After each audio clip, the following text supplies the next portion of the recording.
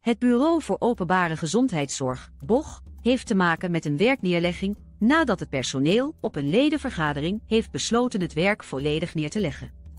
De directe aanleiding hiervoor is de onveilige situatie op het bochtterrein, waar personeelsleden zich niet veilig voelen. Deze onveiligheid werd recent verergerd door de aanwezigheid van onbekende personen op het terrein die zich volgens het personeel verdacht gedroegen. De politie kon niet adequaat reageren, wat bijdroeg aan de gevoelens van onveiligheid. Daarnaast zijn voertuigen van personeelsleden eerder het doelwit geweest van diefstallen, zelfs buiten reguliere werktijden. De personeelsbond benadrukt dat de onveilige situatie op het terrein een urgent probleem is dat aandacht vereist van de leiding, met name wat betreft de bewaking. Tegelijkertijd gebruikt de bond deze gelegenheid om aandacht te vragen voor lopende onderhandelingen met de overheid over kleding en vervoerstoelages.